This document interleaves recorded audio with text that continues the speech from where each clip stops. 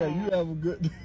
yeah, you have a, makes me want a thing in my mouth. no, This is exactly what I would have done. I would have sat and chat with her for a little bit and laughed and basically like it's not our it's none of our business what they do with the money when we give somebody money that's in need.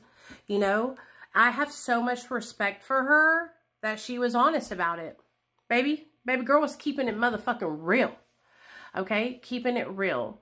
And who's to say maybe that's the only fucking interaction that she's had all day with somebody who actually like gave her the time of day and listened to what she had to say and treated her like a human being. You know, I see so many hateful comments about people that struggle with drug addiction. Junkies, just let them die. Don't give them your money. And like, these are, these are, we are people. We are human beings. Um, now that I'm sober, when I see somebody who is struggling on the streets and if they ask me for money, I don't ask them what the money is for. I don't make them tell me the truth. I just give them the money and I don't expect anything back in return. I give the money just to give, just to be helping somebody that is in need. You know, um,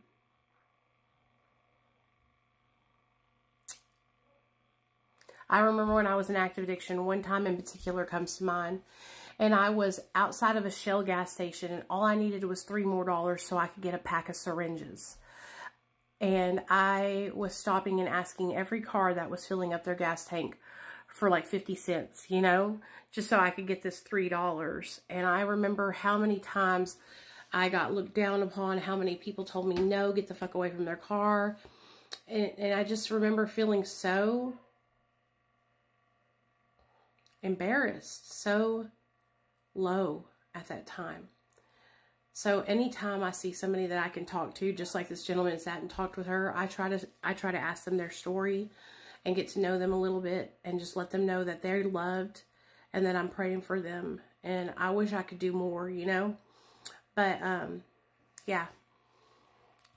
When you give, you give with the intention of just giving and not getting anything back in return. And it's nobody's business what the money is used for. Once it leaves your hands, it's up to that person.